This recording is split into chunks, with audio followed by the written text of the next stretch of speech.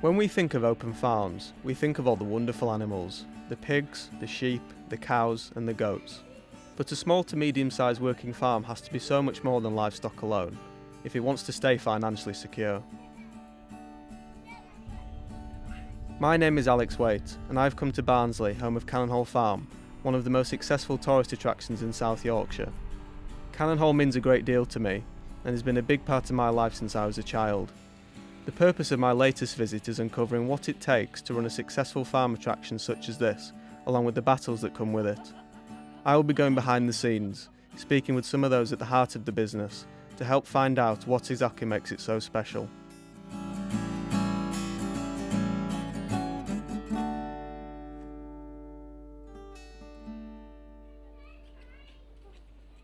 Open to the public since 1989, Cannon Hall Farm is run by the Nicholson family, brothers Rob, Richard, and David, and their parents Roger and Cynthia. I began by speaking with Rob Nicholson, one of the farm's directors, and asked him to give a flavour of just how much the attraction offers its customers. A, day at Cannon Hall Farm will consist of, uh, obviously all the animal barns, if you, if you like animals you can come and look at them, you can watch them uh, go about their, their daily lives. We do sheep racing and ferret racing every day. We do a cow milking demonstration. We do a tractor and trailer ride um, on a weekend and at school holidays.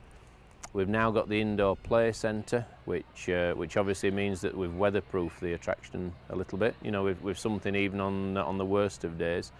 Um, and obviously all the, the retail offer and the, the two restaurants as well. So we're hopefully something for everyone. We've, we've changed the farm significantly uh, since 2009 in particular. Um, the, the, the, motivation for that was the, the E. coli outbreak at uh, Godstone Farm in the south of England.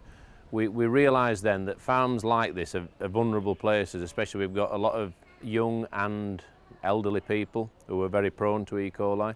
So we wanted to make Cannon Hall Farm the, the safest farm of its type in the country and, and really safeguard the business and all its aspects because the, uh, the business isn't just about a visitor attraction, it's about the retail, the, uh, the restaurant side of it, all, all those facets.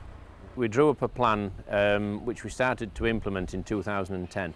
And the first part of it was to make the farm as safe as a farm of this type could possibly be. And that was to remove contact with the, the vulnerable age groups, in, in fact with everyone.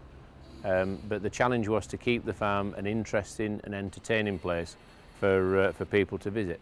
So, so we, we, we took our own course and, and decided if we looked after our own place, it would stand us, uh, stand us successfully for the future. And, and, and it, it seems to have worked really well. You know, people seem to stuck with us even without the animal contact. To understand more about the business plan, I spoke with Adrian Waite, a business advisor to the farm, who was a huge part of putting the plan together. One of the things we, we wanted to address in the business plan was also the seasonality of the business. So when it's when it's um, the colder months of the year, when it's the sort of rainier months of the year, if, if say if the weather forecast says it's going to rain, um, for a pure outdoor attraction, some families won't come. Um, so the idea was put together to have an indoor um, play area in the farm. Um, so we actually went out and, and researched what other farms had done with their indoor play areas. And we actually went and visited a number of farms in the south of England that already had um, indoor play areas there. Adrian formerly worked for Barnsley Development Agency, which has since become Enterprising Barnsley, and his role was to work with and give support to high growth businesses in the area. I wasn't so much brought in as I actually approached them myself. We were keen to, to work with, um, as I say, businesses that, that, that offered um, good growth prospects, um, good prospects for growing the um, staff sizes in companies. So I actually approached them to see if they would be um, part of our key account program, and, and that involves supporting them in, uh, in growing their business. With the contacts that we had, with the consultants and coaches that we were able to bring in, we were able to build on the sort of you know natural business talents that the Nicholsons had um, and bring more traditional um, business support in um, to help them to, to sort of maximise the potential of the, uh, of the farm as a tourist attraction. Next, I wanted to hear about life working at the farm. First up was Carol Rayner, the farm's general manager, who has been here since 2002. I look after all the staff here, of which we've got about 200 people. Um, so I look after the day-to-day -day running, do all the resourcing uh, and looking after the general welfare of the people. Working at Cannon Hall Farm, very enjoyable, very busy. Every day is different. Um, there are no two days alike. I actually really enjoy working with people. That's working with the staff, working with the customers, because we all work on the shop floor here, um, whichever department that may be, from the directors down. My name's uh, Mark Asiavatham. That's a good traditional Yorkshire surname. I look after the catering side here. Uh, what do I enjoy about my job? Well, it's like horse manure, really. You know, um, it steams, it stinks, but I come home every day with a big smile on my face.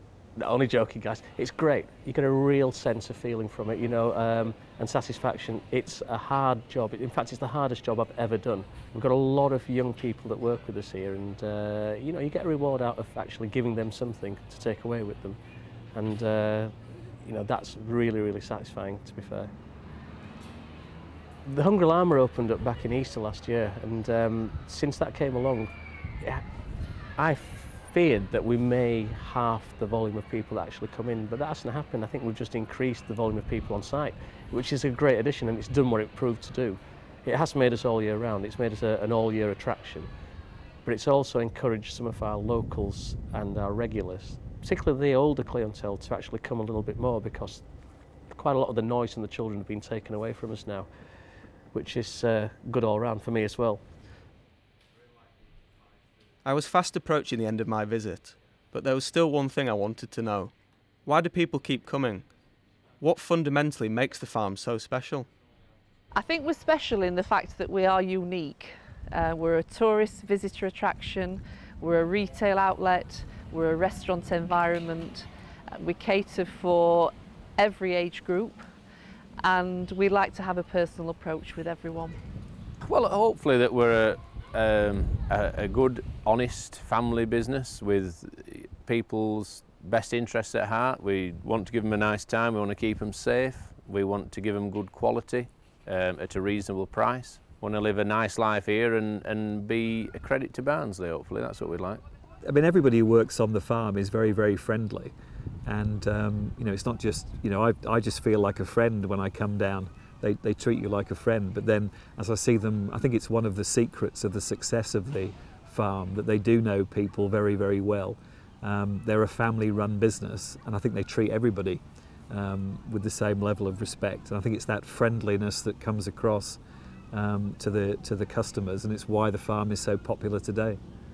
We're South Yorkshire, and uh, you know, we're dead friendly folk. With further expansion plans in the pipeline, Cannon Hall Farm is going from strength to strength and really is a modern farming paradise.